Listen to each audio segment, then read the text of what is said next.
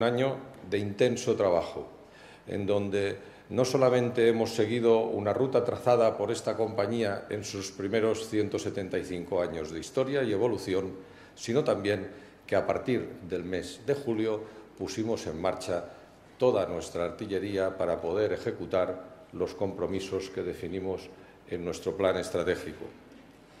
Destacar de todo ello en la Junta General del año pasado, en el mes de junio, descubrimos una nueva imagen corporativa y una nueva marca que iba alineada con toda esa ambición de futuro. La refrendamos también con cambios sustanciales en el gobierno corporativo,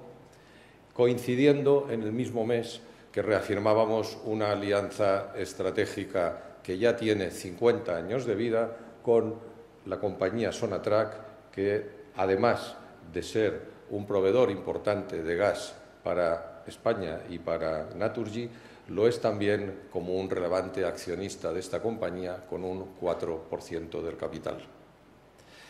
Empezamos a poner en marcha el plan estratégico en el mes de julio, se presentó a la comunidad inversora en Londres y a partir de allí iniciamos dos semanas de, intenso roadshow por las principales plazas financieras para dar a conocer al mercado cuáles eran nuestras intenciones de cara al futuro. Coincidió ese mismo mes cuando llevamos a cabo no solamente el pago del dividendo complementario correspondiente al ejercicio 2017, sino también el primer dividendo a cuenta del 2018, contemplado en el plan estratégico.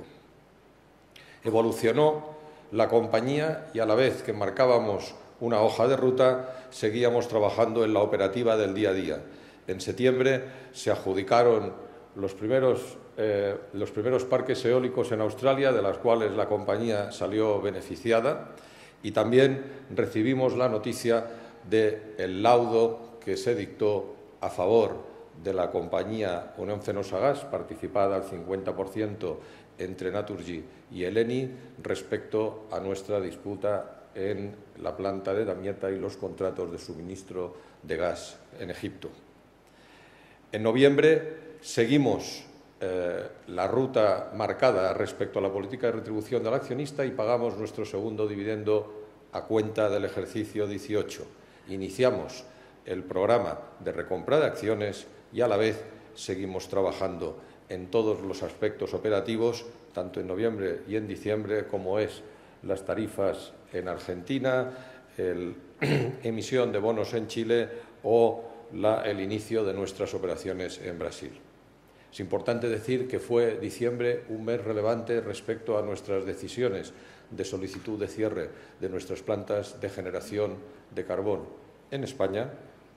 y también con la venta de nuestra planta de nuestra mina de carbón en Sudáfrica. Como he dicho, el año 2018 no dejó de ser intenso tanto en el aspecto operativo como en el aspecto de definición de una ruta de acción estratégica para los próximos cinco años.